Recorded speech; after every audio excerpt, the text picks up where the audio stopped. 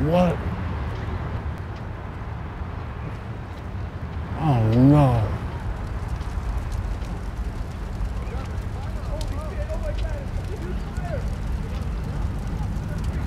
Use the water. Use the water, guys. There's so much of it. Don't you see it?